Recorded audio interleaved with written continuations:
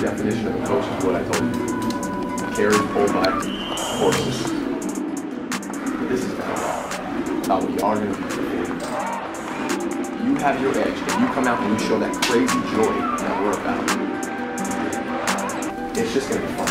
Right? They're good. They're playing great. A lot of respect